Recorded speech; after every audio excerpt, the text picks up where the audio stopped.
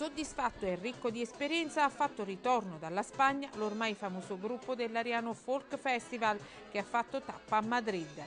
Due mondi culturali e musicali che, seppur distanti, uniti dagli stessi interessi e dalla stessa passione e ritmi.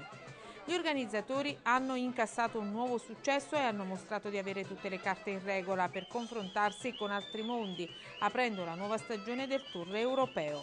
Dopo le numerose tappe come Barcellona, Bruxelles e Parigi, segue la Spagna a pochi mesi dalla chiusura dell'ultima edizione della Kermesse musicale, svoltasi a Piano della Croce che ha visto sulla passerella sfilare nomi di artisti a livello nazionale ed internazionale che hanno fatto ottenere agli organizzatori un plauso dal mondo artistico sia per la perfetta macchina organizzativa sia per la qualità altissima della musica.